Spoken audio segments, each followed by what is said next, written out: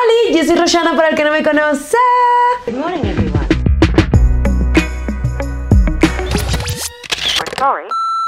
En el video de hoy no sé si estoy muy emocionada o realmente avergonzada porque hice la cosa más estúpida que se les puede ocurrir. O sea, yo creo que a nadie se va a ocurrir esta estupidez que yo hice. Es que es una vergüenza que me enerva la sangre. O sea, es una tontería literalmente que arruinó mi piel o casi arruina mi piel. Pero de verdad, yo les voy a ser sincera. Yo no quería grabar este video. Yo quería llevarme a la tumba ese secreto. Yo no quería contarle a nadie. Yo quería que esconderlo debajo de las piedras y que nunca nadie supiera. Pero mi responsabilidad con ustedes es ponerme de ejemplo para este tipo de estupideces y de alguna u otra forma es que yo sé que en el mundo no existe una persona que vaya a hacer lo que yo hice. Yo lo sé.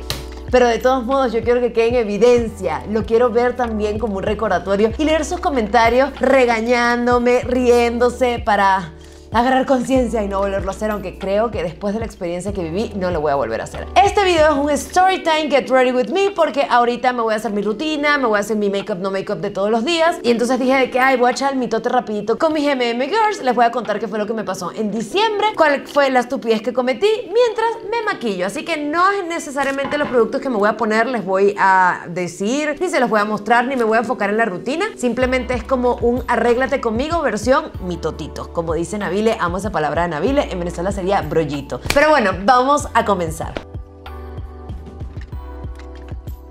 Resulta, resalta y acontece que yo tengo una tradición desde hace muchísimos años, el 21 de diciembre, que se llama la tradición del espíritu de la Navidad. Es algo súper bonito. En Venezuela se hace mucho, pero a mí me lo inculcó de lleno mi hermana. ¿Por qué digo mi hermana? Porque ella cumple el 21 de diciembre y es un ritual donde la verdad yo tengo años haciendo, donde tú le pides al universo, agradeces. No sé, es una celebración bien bonita. Los que me siguen en mi cuenta principal de Instagram saben que yo todos los años la hago y se los he comentado por allá. Pues nada, para empezar a resumir el cuento, porque este cuento no es largo, pero yo le quiero dar vueltas para no llegar a la parte que me da vergüenza. El ritual consiste básicamente en abrir tus ventanas, limpiar tu hogar, hacer una limpieza de tu closet, de cosas que no necesites. Es como las tradiciones de Año Nuevo, pero el día 21. Haces una cartita con deseos, con intenciones, le agradeces eh, pues a Dios y al universo las cosas maravillosas que te permitió vivir durante ese año, etc, etc. Prendes inciensos de mandarina, esencia de mandarina, saben como todo de mandarina, cítrico así para que limpie el ambiente. Y bueno, yo la verdad este año fue distinta mi celebración porque siempre lo hago como, no como en grande, pero lo más bonito posible y este año fue como distinta, ya lo sabemos. Bueno, este año no, el año pasado. El punto es que voy al mercado muy temprano en la mañana a comprar unas velitas que me faltaban al mercado Medellín. Llego rapidito, compro eso y comprando las mandarinas, la chica de las velas me dice, ay, tenemos también como unas hojas de mandarina que tú te limpias y es igual para el espíritu de la Navidad. O sea, eran hojas secas, o sea, deshidratadas de mandarina, ¿no? Y yo digo, ay, qué fabulosa idea. O sea, quiero volver a ese momento y cachetearme. Que, bueno, yo agarro las hojas de mandarina, me parece muy chévere cambur todo. Y llego a mi casa, hago la limpieza, abro las ventanas, hago absolutamente todo. Y entre las cosas que hago, digo, ah, voy a poner a hervir las hojitas de mandarina. Y porque ella me dijo, te duchas con el agüita y así. Yo de que, ah, bueno, voy a abrir la, la cosita de mandarina y me voy a duchar. La pongo a hervir, la cosa y tal, dejo que se enfríe un poquito. De hecho, la mezclo con agua, porque yo le puse agua y le pongo un poquito, un poquitito más de agua. No quería la niña ponerle más agua, la quería pura. Le pongo un poquitito más de agua. Cuando yo le pongo un poquitito más de agua, yo sentía que el olor no era como un olor de mandarina, así de una cosita rica. No, yo sentía que olía como raro y que el agua se veía como marrón. Pero yo dije, es el agua de las hojas de mandarina, o sea, ¿qué puede salir mal? Bueno, me meto a duchar.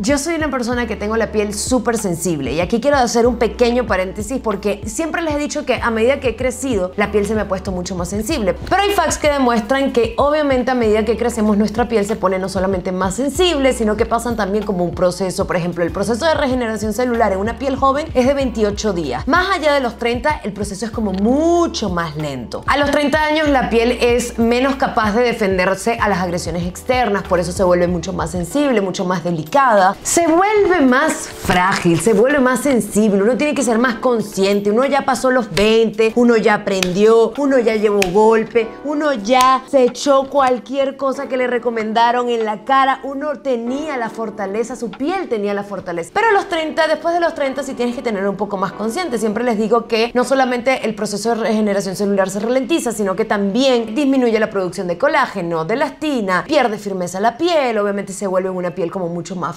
se vuelve un poco más sensible. Entonces, bueno, yo tenía eso presente, yo lo sé, porque yo se los digo a ustedes una y otra y otra vez. Pero no, a mí no me importó, yo me eché esa agua, o sea, yo me la eché en el cuerpo, ¿verdad? Y yo agarro y digo de, ay, ¿qué tanto? Me la voy a echar, eh, tengo aquí las cremitas, pero esta es una mascarilla y no es mi crema. Desde, desde la raíz, desde la cabeza, pues, desde la cabeza me la voy a echar toda, ¿no? Bueno, yo en ese momento sentí como raro, como que la piel me hizo raro. Bueno, me salí del baño porque te tenías que dejar el agua. Ya ven por dónde viene toda esta historia. Salgo de la ducha, a los, no sé, 20 minutos empiezo a sentir como en esta zona de aquí, empiezo a sentir como un cosquilleo y como un poquito de textura. Y yo digo de que qué raro que tengo esa textura. Es normal tener textura en la superficie, no digo que mi piel o mi rostro o mi carita es de plástico y no tiene textura. Yo sufro de mucha textura y se los he comentado anteriormente, pero esa textura era nueva, no era algo que yo había sentido. Yo estoy muy al pendiente de mi piel, o sea, a mí me gusta ver sus cambios, no para de que atacarlo y que se vea siempre perfecta, no, sino para ver cómo si amaneció inflamada, si está rojita, si tiene textura, los poritos cómo están, etc, etc. A mí me gusta analizar muchísimo la piel. Y también recuerden que yo pruebo muchos productos, rutinas, entonces también analizo mucho la piel para ver si la rutina que estoy utilizando le está yendo bien, tal, tal, tal. Lo que les digo siempre que hagan con su pielecita. Bueno, Pasan los 20 minutos, siento esa sensación, no le presto mayor atención porque la verdad no me importó tanto. Y a los 40 minutos es cuando yo me veo una inflamación, así la piel empiezo a ver como parches rojos por toda la cara. Y digo, no, esto no está bien. Me metí a bañar y dijo, esa fue esa agua, yo me la voy a quitar. Pero yo decía, pero ¿por qué si esa agua lo que venía era despojarme de todo lo malo? Esa agua lo que iba a hacer era limpiarme, darle la bienvenida al espíritu de la Navidad. O sea, de que qué tan mal me porté este año que esa agua lo que estaba inflamándome la cara. La cara la tenía súper grave. Bueno, para resumir el cuento, me lavo la carita y automáticamente a medida que pasaba el tiempo y las horas, o sea, yo al principio salí del baño y ya la tenía muy mal. Me puse Cream y Tolerine, ¿no? Tolerine con protección solar. Y bueno, nada, continué el día sin darle como mayor importancia. O sea, la verdad sí le estaba dando importancia porque me sentía muy estúpida, me sentía muy tonta. ¿Saben? Me sentía muy de qué irresponsable eres que tú hablas de la piel y que sabes que no puedes estar inventando poniéndote cualquier otra cosa que sabes que tiene sensibilidad en la piel y pues no sé, o sea, cometí un error tonto, si me entienden, o sea, sí me sentía muy... ¿Por qué no pudiste llevar a cabo lo que haces todos los años? Todos los años, que es tu cartita, tus mandarinas, tu incienso, tu cosa, tu ventanita abierta, tu casita limpia. No, tenías que agregarle algo que sabe Dios cuánta suciedad, cuántas impurezas, cuántas bacterias tenían esas hojas y yo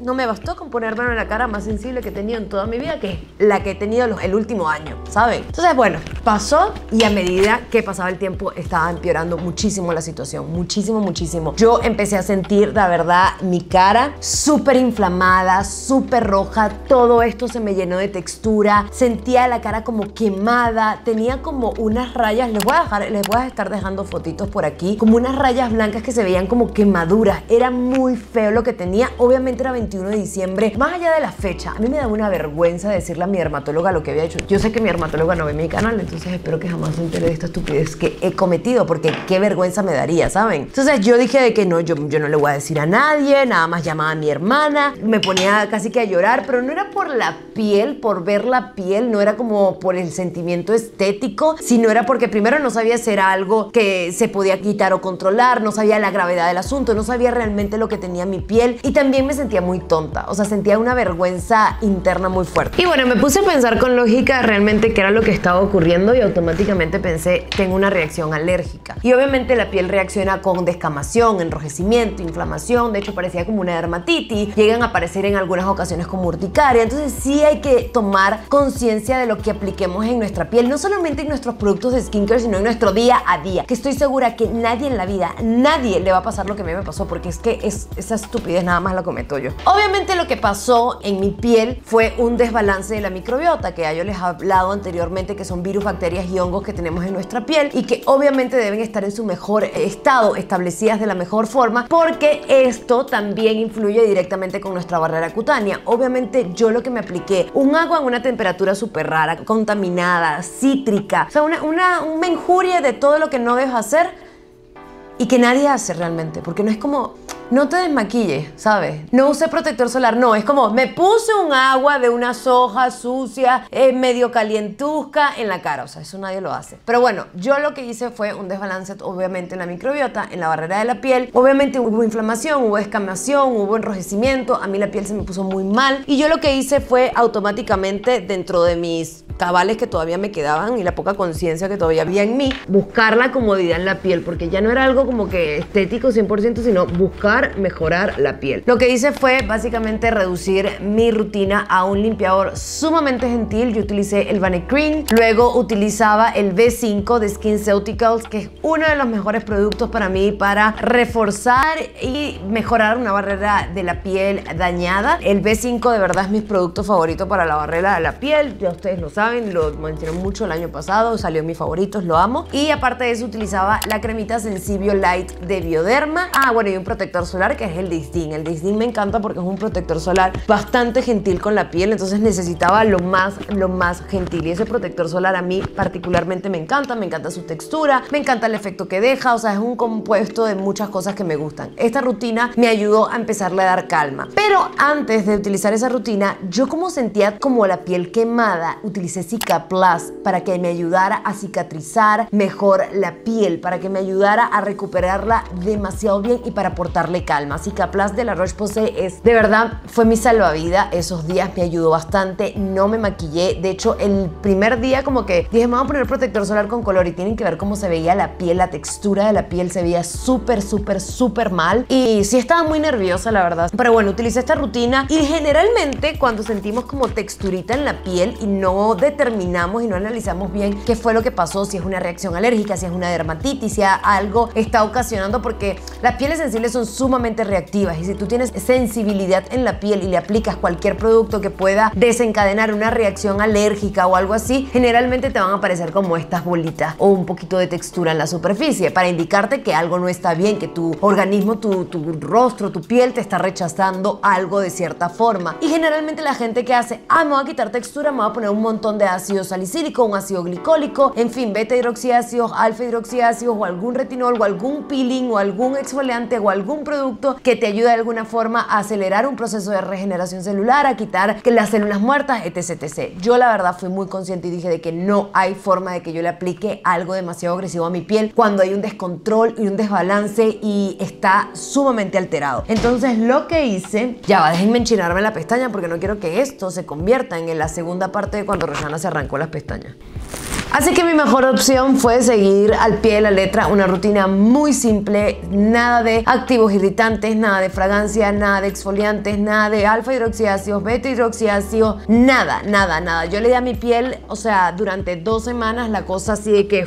Al cabo de semana y media, siento que ya la cosa empezaba a mejorar. O sea, la inflamación había bajado, la sensación había bajado, como esas rayitas blancas de quemadura también habían disminuido. Lo que sí noté es que empecé a hacer como costricas en ciertos lugares, muy chiquitititas, como si literalmente agarraras un bolígrafo y le dieras como un puntito y lo quemaras. Bueno, eso fue lo que me empezó a pasar. Empecé a utilizar Cicaplast allí para que no me quedara ninguna marquita ni nada por el estilo. Y esa rutina, la verdad, fue la que me ayudó a calmar. Es una rutina que no es, no, me la puso nadie, pues yo la inventé y dije de que qué le voy a dar a mi piel, pues reestructurar todo lo que dañé, reestructurar todo lo que alteré y darle calma. La verdad eso me ayudó bastante, me ayudó muchísimo a encontrar como ese balance. Ahorita actualmente que ya han pasado varias semanas, siento que ya está totalmente sanito. Sí siento de repente como aquí donde justo donde tengo el dedito, que no se puede ver, yo lo veo en el espejo y no se ve nada, pero yo con el dedito puedo sentir como micro texturita por allí, que obviamente cuando se pueda y vaya al dermatólogo no le voy a contar esta triste historia, solo le voy a decir de que siento algo aquí como... No, mentira, sí le tengo que contar, pero tengo que armarme de valor porque qué vergüenza, o sea, qué vergüenza. Me da mucha vergüenza. Y eso es la triste historia de lo que me pasó. Ya terminé mi maquillaje, solo me falta un poco de lipstick. Pero bueno, eso sí, fue básicamente lo que me pasó. La verdad, es una tontería. O sea, se les digo que es literalmente la historia más tonta del mundo.